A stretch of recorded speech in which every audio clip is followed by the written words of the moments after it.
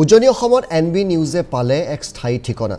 আজিয়ে শুভক্ষণত N B নিউজৰ উজনি অসমৰ মাণ্ডলিক কাৰ্যালয় মুকলি কৰিলে অধ্যক্ষ তথা চি এম ডি নৃপেন দাসে। যোৰহাটৰ তৰাজনৰ হেমবৰুৱা পথত মুকলি কৰা হয় এই কাৰ্যালয়। এই অনুষ্ঠানত উপস্থিত থাকে এন বি নিউজৰ মহাপ্ৰবন্ধক দাদুমণি বৰা এন বি নিউজৰ উজনি অসমৰ প্ৰশাসনিক ব্যুৰ নৱজ্যোতি বৰুৱা উজনি অসমৰ আটাইকেইখন জিলাৰ ব্যুৰসকলৰ লগতে উপস্থিত থাকে কৰেছপণ্ডেণ্টসকলো। এক সুন্দৰ পৰিৱেশৰ মাজত মুকলি কৰা হয় এন বি নিউজৰ উজনি অসমৰ মাণ্ডলিক স্থায়ী কাৰ্যালয়টো। উজনি সাংবাদিকসকলক ৰাইজৰ লগত অধিক দায়বদ্ধতাৰে কাম কৰি যাবলৈ আহ্বান জনায় চি এম ডি নৃপেন দাসে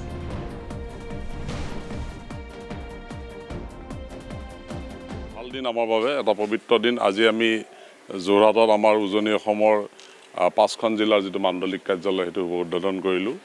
আৰু এইটো আমাৰ নিজা গৃহ সেই অফিচটো আমাৰ যোৰহাটৰ তৰাজনত।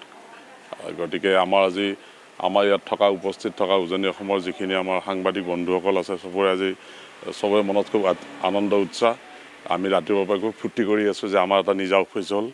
আৰু এই অফিচটোৱে আমাৰ এটা স্থায়িত্ব দিলে এন বি নিউজক এই অঞ্চলটোত। আৰু আমি অহা দিনবিলাকত এন বি নিউজৰ যিখিনি কাম কাজ হ'ব ইয়াৰ পৰাই হ'ব।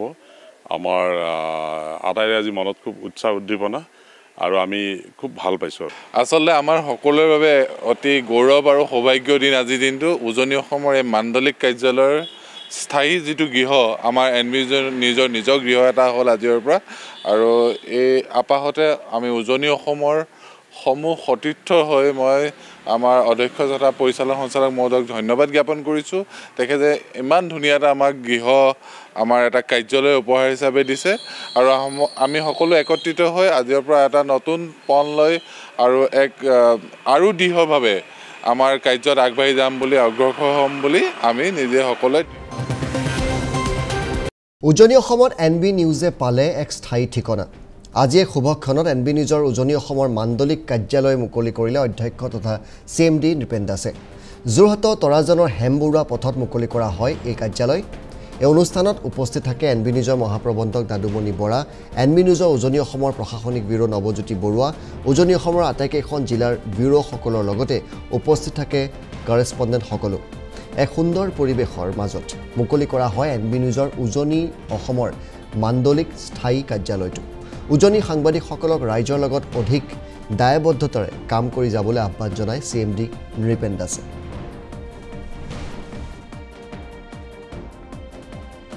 ভাল দিন আমাৰ বাবে এটা পবিত্ৰ দিন। আজি আমি যোৰহাটত আমাৰ উজনি অসমৰ পাঁচখন জিলাৰ যিটো মাণ্ডলিক কাৰ্যালয় সেইটো উদ্বোধন কৰিলোঁ। আৰু এইটো আমাৰ নিজা গৃহ। সেই অফিচটো আমাৰ যোৰহাটৰ তৰাজনত। গতিকে আমাৰ আজি আমাৰ ইয়াত থকা উপস্থিত থকা উজনি অসমৰ যিখিনি আমাৰ সাংবাদিক বন্ধুসকল আছে চবৰে আজি চবৰে মনত খুব আনন্দ উৎসাহ। আমি ৰাতিপুৱাৰ পৰা খুব ফূৰ্তি কৰি আছোঁ যে আমাৰ এটা নিজা অফিচ হ'ল আৰু এই অফিচটোৱে আমাৰ এটা স্থায়িত্ব দিলে এন বি নিউজক এই অঞ্চলটোত। আৰু আমি অহা দিনবিলাকত এন বি নিউজৰ যিখিনি কাম কাজ হ'ব ইয়াৰ পৰাই হ'ব। আমাৰ আটাইৰে আজি মনত খুব উৎসাহ উদ্দীপনা। আৰু আমি খুব ভাল পাইছোঁ আচলতে আমাৰ সকলোৰে বাবে অতি গৌৰৱ আৰু সৌভাগ্যৰ দিন আজিৰ দিনটো। উজনি অসমৰ এই মাণ্ডলিক কাৰ্যালয়ৰ স্থায়ী যিটো গৃহ আমাৰ এন বি নিজৰ নিজৰ গৃহ এটা হ'ল আজিৰ পৰা। আৰু এই আপাহতে আমি উজনি অসমৰ সমূহ সতীৰ্থ হৈ মই আমাৰ অধ্যক্ষ তথা পৰিচালন সঞ্চালক মহোদয়ক ধন্যবাদ জ্ঞাপন কৰিছোঁ। তেখেতে ইমান ধুনীয়া এটা আমাক গৃহ আমাৰ এটা কাৰ্যালয় উপহাৰ হিচাপে দিছে আৰু আম- সকলো একত্ৰিত হৈ আজিৰ পৰা এটা নতুন পণ লৈ আৰু এক আৰু দৃঢ়ভাৱে আমাৰ কাৰ্যত আগবাঢ়ি যাম বুলি অগ্ৰসৰ হ'ম বুলি আমি নিজে সকলোৱে